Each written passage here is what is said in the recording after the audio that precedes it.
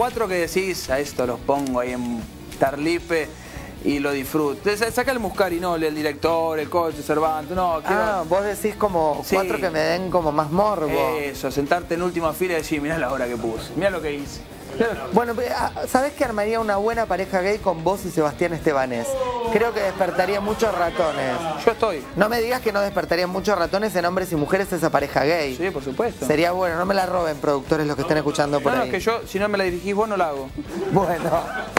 Pero por ejemplo, ese es un buen dúo, mira. Eh, Faroni Producciones, ahí Quique Estebanés, podemos hacerlo yo, sería un desafío totalmente... Sí, sí, me gusta, me gusta, claro, me gusta Seba. No,